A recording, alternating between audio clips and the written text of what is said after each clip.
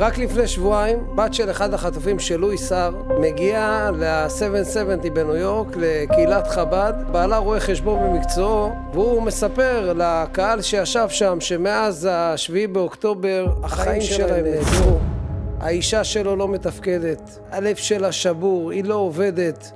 הוא אומר שבקהל התחילו לשאול אה, אם הם צריכים משהו, צריכים עזרה בכסף, נאסוף לכם כסף, נשלח לכם דברים. הבעל אומר לו, אני לא רוצה כסף, אני רק רוצה להעלות את המודעות, שידעו שהחיים של כולם ממשיכים, ואנחנו, החיים שלנו נאסרו בשביעי באוקטובר, ו- ואבא של אשתי, לואיס, הוא היה איש אה, מלא שמחת חיים, היה סבא נפלא לנכדים שלהם, והם... רוצים נס, הם רוצים נס, אם אתם יכולים, הם אומרים לקהל, תתפללו לקדוש ברוך הוא, שיעשה לנו נס, כי צריך, צריך נס. נס.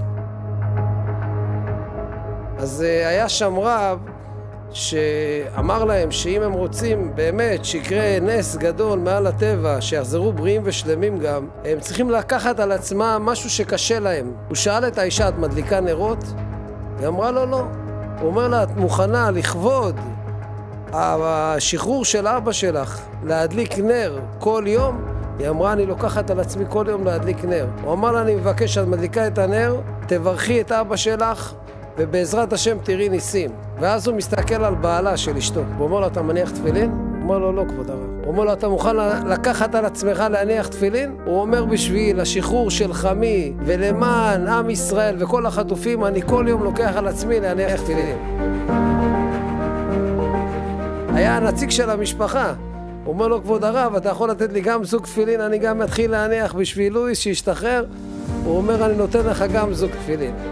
פתאום הבת של לואיס התפרצה בבכי ואמרה לו, כבוד הרב, אתה יכול להביא לי עוד זוג תפילין אחד? תקל עליה, עמום, אומר לה, למה צריכה עוד זוג תפילין? היא אמרה לו, אני רוצה שאבא שלי שישתחרר בעזרת השם, אני אתן לו את הזוג תפילין האלה ואני אדאג שהוא יניח אותם כל יום. ברוך אתה הגומל לחיובי, חייבים, חייבים טובות, שמלני כל טוב. למחרת הם הגיעו אליו למשרד, הם לקחו שלוש זוגות תפילין, חזרו לארץ, שבועיים אחרי, בעזרת השם, בפעולה הירואית ונועזת של חיילי צבא ההגנה לישראל הגיבורים שלנו, השתחררו שני חטופים בריאים ושלמים, ביניהם, ברוך השם, לואי סער, שחזר לחיק משפחתו בריא ושלם. אז אני רוצה באמת לברך שמי שבירך אבותינו הקדושים, אברהם, יצחק ויעקב, הוא יברך את חיילי צבא ההגנה לישראל. שיחזרו לשלום הביתה מכל פעולה צבאית.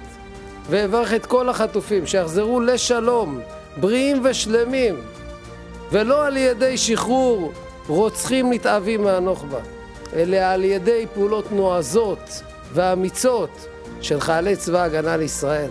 חזק וברוך. טל סמל, האיש והמסר, תודה רבה, שיהיה לנו שבוע טוב ובשורות טובות. בשורות טובות.